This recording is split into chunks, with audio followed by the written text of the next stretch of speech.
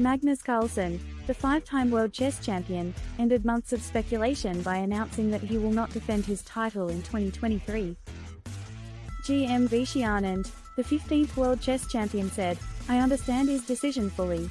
In a way, I was also getting tired of playing matches every year or two years several times in a row. In a sense, because I lost, this problem solved itself. Magnus's problem is a little bit that he isn't losing,